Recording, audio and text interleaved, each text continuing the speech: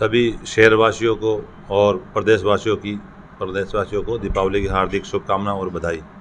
दीपावली के इस पावन पर्व पे हम सबका सामाजिक सौहार्द और धार्मिक सौहार्द बना रहे और लक्ष्मी माँ गणेश जी सबको अन्न, धन और धान और समृद्धि दे और सबके जीवन में खुशहाली आए और सब आपस में प्रेम और भाईचारे से दीपावली मनाए।